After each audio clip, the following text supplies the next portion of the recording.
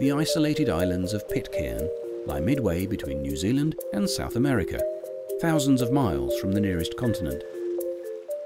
We've got Ducie, Henderson and Oeno, which is pristine. One of the few last vestiges that hasn't um, invaded or, you know, it's just Mother Nature's very own. The volcanic beginnings of the islands and their extreme seclusion have allowed a unique and unspoiled marine environment. Water around Pitcairn is the clearest ever recorded. You know, jumping in the water here and you can see the bottom and you don't actually realise how deep it is. It may be 30 metres, it may be 60 metres. The sun can penetrate deep and wide, which allows photosynthetic algae and corals to grow in abundant and diverse varieties. These rich, colourful corals are home to many unique fish populations. Several fish species were first discovered in Pitcairn's waters and continue to thrive here, like the Smith's butterfly fish, the Henderson triplefin, and an endemic species of squirrelfish. An abundance of sharks and other top predators signals a healthy ocean ecosystem.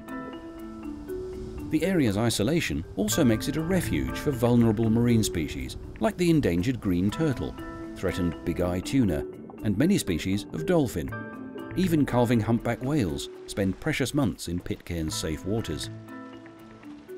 Above the sea, Pitcairn's thickly vegetated islands are home to rare plants and animal species, including endemic marine birds. You've got the lorikeet, the fruit dove, the crake, the warbler, and the Henderson um, Petrel. Henderson petrel. Preserving this remarkable environment requires protection from overfishing and other harmful activities. So the people of Pitcairn are seeking to create a highly protected, no-take marine reserve.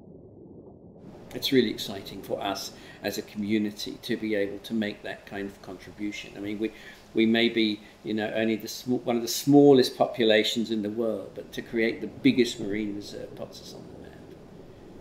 On Ducie, to actually bend down and tickle a cod, you know, that sort of stuff.